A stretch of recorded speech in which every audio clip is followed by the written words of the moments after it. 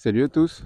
Bon, petit vlog IA, intelligence artificielle, parce que j'ai l'impression qu'il y a quand même beaucoup de gens, vraiment beaucoup, euh, qui sont pas au courant en fait de, ce qui est en train de se, faire euh, tranquillement, parce que c'est des gens, et c'est parfaitement logique, hein, qui ont la tête dedans tous les jours, dans le travail, dans, la famille, dans le quotidien, quoi, et qui du coup ont, un peu de mal forcément à se renseigner sur sur les grosses évolutions qui arrivent. Et je veux en parler déjà pour euh, mes proches, mais aussi pour, euh, les gens qui n'ont pas le temps. Et surtout, j'attendais en fait d'avoir assez de, munitions, entre guillemets, euh, pour pouvoir aborder le sujet. Et là, il s'est passé un truc il y a deux jours, et c'est parfaitement à propos, puisque ça concerne justement une boîte d'intelligence artificielle qui a contacté les, les créateurs de fichiers 3D, ce qui se trouve être mon cas. Donc euh, je suis un peu dans le lot, quoi. Euh, parlons donc de l'intelligence artificielle brièvement. Je vais essayer de faire en 10 minutes, histoire que ça saoule pas trop les gens. L'intelligence artificielle, pour ceux qui ne savent pas, hein, c'est euh, quelque chose qui est censé nous aider au quotidien, nous aider pour des calculs, etc., pour des choses bien plus complexes. Et le projet des gens qui créent l'intelligence artificielle, c'est d'arriver à, en faire quelque chose, pas qui soit au niveau du cerveau de l'être humain, mais bien au-dessus, en fait. Ce qui est déjà le cas dans de nombreux domaines. hein. Prenons euh, les mathématiques. Euh, dans la majorité des cas, une IA est bien plus performante qu'un humain pour faire des calculs, ne serait-ce qu'en termes de rapidité. Bref, l'intelligence artificielle, ça peut paraître un peu futuriste, mais aujourd'hui, c'est de plus en plus d'actualité. Vraiment. Euh, ça commence à se répandre de partout, et c'est bien logique, malheureusement. Et à titre perso, ça fait depuis à peu près 2020, depuis la période Covid, que j'ai pu accéder à l'utilisation de cet outil par le biais d'OpenAI, essentiellement, puisqu'ils sont rentrés en phase de bêta, en gros, pendant cette période. Quoi. Et du coup, ça va faire bientôt, ça fait trois ans en fait, presque, un peu plus, non, un peu moins, que j'utilise euh, l'intelligence artificielle. Au quotidien, ce serait peut-être un peu exagéré, mais en tout cas, je m'en sers. Si, quasiment en fait. Euh, j'ai un onglet en fait qui est tout le temps ouvert, et, euh, du coup, si, ça, m'arrive quotidiennement. Parce que je sens une vraie putain de bascule. Putain, il y a des chasseurs à la con là. Enfin bref. Je sens une putain de bascule euh, arriver, et comme je l'avais vécu quand j'ai vu arriver l'impression 3D pour les particuliers, et ben là, ça me fait en fait le même choc, le même électrochoc, mais puissance 1000 en fait. C'est que si ce truc-là se répand en- encore plus, bah, ça va être encore plus bouleversant, bien bien plus bouleversant, et c'est déjà le cas, hein, que l'impression 3D. Euh, donc j'ai été contacté, re- reprenons un petit peu là-dessus. J'ai été contacté, et je suis pas le seul du tout, hein, vraiment pas, par une boîte d'IA, visiblement euh, étrangère, puisqu'elle parle en anglais, et euh, qui m'a proposé, ainsi qu'à d'autres créateurs, le rachat de nos fichiers 3D pour euh, entraîner leur intelligence artificielle. Euh, pour ceux qui ne connaissent pas l'histoire et qui connaissent l'intelligence artificielle Mid-Journey, qui est une intelligence artificielle qui fait du graphisme, des dessins, etc. Il y avait eu hein, ce, gros boom et ce gros, questionnement éthique sur est-ce que bah, est-ce que c'est éthique qu'une intelligence artificielle se serve et s'inspire de, centaines de milliers, de millions, si ce n'est de milliards de dessins qu'elle trouve sur Internet sans demander l'avis aux auteurs, pour ensuite être capable de recréer une image de manière totalement informatisée, informatique, par le biais d'un algorithme, etc. Et bien là, c'est exactement la même chose qui est en train de se produire dans la 3D. Alors déjà, je vais vous donner mon point de vue. Euh, c'est foutu. Ce que je veux dire par là, c'est que euh, euh, bah, c'est qu'en fait, euh, c'était logique que ça arrive et, et que ça ne, ça ne fera pas machine arrière et qu'on accepte ou qu'on refuse le fric, ça va se produire. Vraiment. Quoi qu'il arrive, ça va se produire. Du coup, mon avis de premier abord comme ça, merde, je vais essayer de pas me mettre à contre-jour. Mon avis de premier abord comme ça, c'est de dire, en fait, la machine est en marche, et là, il n'y a pas d'autre mot plus concret. Donc, bah, en fait, prenez les sous, les gars, tant que c'est possible, parce que de toute façon, après, vous allez être baisé. Donc, que vous acceptiez ou non, ils vont se servir de vos fichiers 3D. C'est évident, en fait, c'est évident, pour entraîner leur IA. Donc, rien à voir ou avoir un peu. Essayez de rentrer en lutte contre ça, ce serait beau, hein. Ce serait très beau, mais à, l'échelle de, quelques créateurs dans le monde, ça n'a pas de sens, ça n'a absolument aucun sens. Donc ça, c'est ça, c'est mon avis. et ensuite, voilà. Déjà, je suis désolé, c'est un peu perturbant parce que vraiment, c'est une putain de bascule, et c'est ça que j'essayais de, j'essaie de vous partager dans cette vidéo. c'est qu'en fait, ce truc-là, moi, en ce moment, je le ressens un peu fort parce que j'ai été contacté. Mais il faut imaginer que c'est valable probablement pour le boulot que vous faites vous aujourd'hui. Peu importe ce que vous faites. à la limite, limite peut-être pas si c'est beaucoup d'artisanat à l'ancienne, de mmh, de comment dire, de de production agricole par exemple, comme autour de moi. Enfin, les gens qui y a ici, l'IA ils s'en battent les couilles. Vous voyez, on est en pleine campagne, évidemment quoi. Mais je veux dire pour tous ceux qui sont en ville quoi, qui travaillent dans l'administration, qui travaillent dans le milieu bancaire, qui travaillent dans la traduction, dans, dans tous ces milieux tertiaires, en fait, euh, c'est pas pour vous faire peur. En fait, si. je veux pas vous faire peur. En plus, on est dimanche, quoi. Et je veux pas vous faire peur, mais euh, ouais, euh, en fait, mettez une alerte, quoi. C'est juste ça que je veux dire. Mettez une putain d'alerte parce que il y a un truc qui se passe qu'on ne pourra pas arrêter. en tout cas, c'est mon sentiment personnel là-dessus. Je peux me tromper, mais euh, j'ai pas souvenir d'avoir lu quoi que ce soit dans l'histoire qui a fait machine arrière sur le plan technologique. Et j'ai peur que ce soit le cas aussi pour l'IA. Mais du coup, voilà, pour, tout, pour tous les gens qui bossent dans le tertiaire, mettez une alerte, pas parce que vous pouvez, entre guillemets, y faire grand-chose, mais plutôt pour prévoir ce que vous allez faire ensuite. Euh, parce que c'est vraiment, vraiment urgent. enfin, en tout cas, moi, je le vois comme ça. Il y a des gens là qui, par le biais de cette vidéo, vont, vont, vont présager euh, que je me transforme en, espèce de catastrophiste, euh, effondrementiste ou je ne sais quoi d'autre. Pas du tout. C'est absolument pas ça, puisque là, c'est vraiment. je suis pas en train de vous parler d'un effondrement, du combat des machines contre l'homme. Non, pas du tout. C'est pas le sujet. Vraiment, le sujet, c'est juste quelque chose que moi, je, ressens depuis 2-3 ans, c'est qu'il faut que j'arrive à transformer mon boulot euh, parce qu'il va disparaître. Et du coup, c'est peut-être juste ça l'appel que j'aimerais lancer aux gens qui sont proches de moi, et puis même du coup aussi à vous, les viewers. C'est commencer à prévoir ça. Ayez dans un coin de votre tête qu'il y a quelqu'un bien plus balèze que vous qui va prendre votre place, et que du coup, il va falloir faire autre chose. Voilà, c'est juste ça que je veux dire. Euh, ouais, ouais, ouais. I hope you enjoyed watching this brief video showcasing a new set designed for Vanostia. I would like to take this opportunity to remind you that I am offering a monthly pack of 3D files that can be downloaded by subscribing to Tipeee, Patreon, or Tribes through my mini factory. Support me, get 8 Euro 3D files with valuable content worth up to 80 Euro. Help me creator with discounted prices. And it allows me to have a fixed salary, in quotes, and you on your side, it allows to have the products in preview, to be able to print them first and beyond that, to have them really much cheaper. In short, it's a win win if you can do it, do it, no obligation, of course. But in any case, thank you already to 300, 400 people who already do it. I wish you a good painting, good game, good print, good full of things, and we'll see you very soon for new videos. Il y a, un, dernier point que je voulais aborder concernant l'IA, c'est cette espèce de, euh, de, de,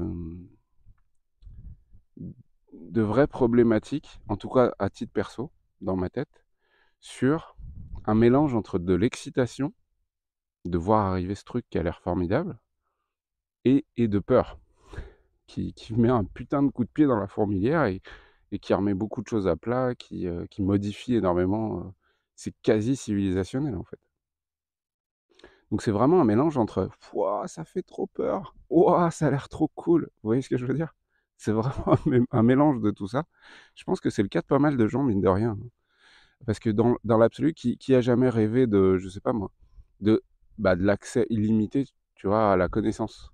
C'était un peu le cas avec, euh, l'arrivée d'Internet, que j'ai pu vivre aussi. Euh, C'était un peu le cas parce qu'on on a pu consulter des tas de sites internet, se renseigner sur des tas de sujets qu'on n'arrivait pas à trouver en bouquin, ou, ne serait-ce que plus facilement en restant chez soi, ou ce genre de choses. Euh, mais là, l'IA, c'est vraiment le niveau du dessus, puisque c'est c'est quelque chose qui n'a absolument aucune limite. Donc, vous n'avez même, pas de recherche à faire. Vous n'avez qu'à lui poser la question et elle va vous répondre. C'est n'importe quoi.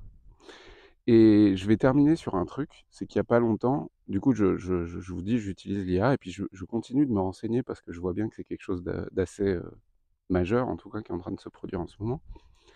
Euh, euh, j'ai écouté une conférence avec le créateur d'OpenAI et puis d'autres personnes importantes. Et il n'y a pas longtemps, il y a, il y a le gars, là, Sam Altman d'OpenAI, qui a littéralement dit, en fait, dans une interview, que la prochaine version de ChatGPT, qui est donc une, en intelligence artificielle, hein, pour ceux qui ne connaissent pas, euh, ça allait être l'équivalent de Dieu. C'est lui qui a dit ça. hein. Je sais pas si vous vous rendez compte du délire. C'est-à-dire on- je pense qu'on, même moi, euh, enfin même moi, évidemment moi, mais même des gens extrêmement intelligents, extrêmement informés, peut-être aussi même dans, le domaine, des professionnels, ils ont conscience que le prochain, la prochaine version d'OpenAI, ça va être nawak en fait. Ça va être n'importe quoi, ça va être euh, beaucoup plus performant. Aujourd'hui, déjà, en, quelques secondes, on peut créer un fichier PDF. En quelques minutes, on peut écrire, euh, écrire. Alors non, on n'écrit pas. On peut faire écrire un livre à OpenAI. Oui, on est encore assez éloigné des qualités euh, évidentes qu'on retrouve dans l'écriture d'un livre fait par réellement un auteur. C'est- évident. Mais c'est qu'une question de temps. En fait, c'est vraiment qu'une question de temps. faut imaginer qu'une IA, elle est capable de lire tous les livres de la Terre en finalement très peu de temps. Et qu'au bout d'un moment, par euh, l'immensité de sa puissance de calcul, elle va être capable de reproduire les choses euh, des plus grands auteurs. C'est exactement pareil pour la 3D. C'est le cas pour, ça va être le cas de plus en plus pour, pour le graphisme. Dans la musique, je vous raconte pas le bordel que ça fout, l'IA. Vraiment, hein, c'est un sacré, sacré bordel. Donc à part si on a des, des- grosses choses qui se déroulent dans le monde et qui font que bah il y y a un coup de pied qui est mis dans l'IA qui fait que ça marche plus, il va falloir vivre avec ce nouveau truc. Et, euh, et voilà. Et je voulais juste vous partager ça de manière complètement informelle en me baladant un petit peu dehors. Euh, parce que moi, je me rends vraiment compte que mes, proches, là je parle plutôt de ma famille et du coup d'une génération au-dessus, n'ont absolument pas conscience de ce truc-là. Ils ont peut-être lu ça dans un magazine, à la télé, ce genre de choses, mais euh, ils n'en mesurent pas en fait l'évolution que c'est en train de faire. Vous allez me dire, oui, t'es gentil, s'ils ont 70 ans, euh, ils verront rien. Ah, c'est pas faux. Je leur souhaite bien plus, évidemment. Mais ce que je veux dire, c'est que, ben voilà, on a tous une limite, une date de péremption. Et voilà, on est invité à un moment, faut, faut partir. Mais ils, ont, ils, ils ressentiront, pardon, forcément moins l'impact sur leur vie, euh, bah parce qu'ils ont, leur reste moins de temps, tout simplement. Et du coup, dernier point, j'ai fait beaucoup plus de 10 minutes là, mais c'est pas grave. De toute façon, j'arrive à la maison, donc je vais bientôt conclure. Euh, et du coup, imaginez aussi le bouleversement pour les, pour nos jeunes en fait, pour nos jeunes et nos gamins. Euh, L'école, quel sens ça va avoir dans un monde où il suffit de demander à un petit boîtier qui est à la maison du genre Alexa, Cortana ou je ne sais quoi d'autre, lui poser une question pour qu'elle donne la bonne réponse. Ça fout déjà un sacré bordel de toute façon dans les examens aujourd'hui dans les écoles. Des copies, des. Voilà, des tas de choses. Euh, ouais, c'est. C'est. C'est. C'est titanesque comme, euh, comme truc à réfléchir. C'est vraiment titanesque. Je, pense que personne n'est capable d'en mesurer euh, toutes les implications que ça peut avoir. À la limite, l'IA doit être capable d'en mesurer toutes les implications que ça a. Euh, donc voilà, donc je voulais pas non plus. Putain, j'ai l'impression de vous avoir déprimé les copains. Vous déprimer en ce, dimanche euh, plutôt joli, en tout cas dans ma région. Bon, par contre, ça caille sa grand-mère, mais il fait plutôt beau. Euh, je voulais pas du tout vous déprimer parce que euh, prenez plus ça comme un, côté justement de, euh, de lutte, mais pas de lutte débile. Pas de lutte de moi je refuse, du coup je m'en sers pas, du coup ça n'existe pas pour moi, c'est de la merde, ça dégage. Ça c'est l'autruche. hein. Il y a des gens qui arrivent à vivre comme ça, c'est pas du tout mon cas. Mais ça c'est l'autruche. Si ça les rend, si ça les rend ou si ça vous rend heureux, go, faites-le. Si c'est comme ça que vous êtes heureux, faites-le. Mais il y a des gens que ça rend pas du tout heureux. Et du coup, je trouve que c'est vraiment important de savoir les choses qui se trament comme ça et qui bouleversent vraiment, vraiment les choses. Et que le côté lutte, c'est c'est pas aller se battre contre la machine. Putain, j'ai l'impression de parler de Terminator. Mais plutôt d'être plus malin qu'elle pour avoir en quelque sorte un coup d'avance. Euh, juste, elle va vous rattraper à un moment, mais en tout cas, que sur la durée de votre vie, elle soit toujours euh, quelques minutes derrière vous. En tout cas, que vous prévoyez ce que vous allez faire quand elle vous aura pris une partie de votre euh, moyen de subsistance, tout simplement. Parce que lutter contre et, et, et, faire l'autruche, ça, mènera à rien en fait. Je, pense. Je pense. Il y a, il y a des gens euh, euh, assez intelligents euh, sur le sujet de l'IA, et je vais conclure là-dessus cette fois, qui ont dit que l'IA c'était un grand danger, etc. Et il y en a d'autres qui ont dit le problème de l'IA c'est pas c'est pas l'IA, c'est nous. Ce que je veux dire, c'est que ce, que, ce que ces personnes-là voulaient dire, je pense, c'est quand on a acquis un nouvel outil, il faut pas se plaindre de l'arrivée de ce nouvel outil. Il faut juste trouver un moyen plus pertinent de s'en servir. Et ben c'est un peu ça que j'essaie de sous-entendre par cette vidéo. C'est justement trouver un moyen pertinent de s'en servir pour pas rester comme un teubé avec la machine à écrire. À part si ça vous rend heureux, encore une fois. J'ai absolument rien contre les gens aussi qui sont à l'inverse, les mormons, ce genre de choses, des- gens qui, font machine arrière, qui préfèrent occulter le reste. Si ça les rend heureux, mais c'est c'est très bien quoi. Euh, mais c'est pas mon cas, et je pense que c'est pas le cas de beaucoup d'entre vous, parce que comme tous les êtres humains, on cherche à améliorer notre confort tout au long de notre vie, ou en tout cas à le maintenir. Et du coup, bah pour ça, il faut juste avoir un, horizon en fait, et voir un peu ce qui se passe autour de nous. Et l'IA arrivant, bah, elle bouleverse quand même vraiment beaucoup l'horizon. Et il faut vivre avec ce truc-là et essayer de le réfléchir. Voilà, c'était juste la chose que je voulais, dont je voulais parler avec vous dans ce petit vlog du, dimanche matin. J'espère que ça va vous rendre curieux sur le sujet de l'intelligence artificielle, parce que vraiment, vous, devez vous renseigner sur le truc, ou au moins tester ce bordel, euh, et garder ça dans un coin de votre tête, juste pour pas vous faire avoir plus tard. C'est juste ça que je veux dire. Voilà, tout simplement. Sur ce, euh, je vais à peu près conclure là-dessus. Encore une fois, ce n'est pas du tout une vidéo catastrophiste. Voilà, parce que j'ai un peu le sentiment que ça ressemble à ça, en tout cas à la fin de l'enregistrement là. Donc vraiment, on n'est pas du tout dans ce- cette démarche-là. Au contraire, j'essaie juste de parler d'un truc euh, encore, je trouve un peu inconnu. Euh, et voilà, tout simplement. Sur ce, je vous souhaite à tous un très bon dimanche. N'ayez pas peur. Ah là là, ça fait peur. Oui, mais c'est excitant. Vous voyez le délire? Allez, passez tous une très bonne journée. Ciao, ciao.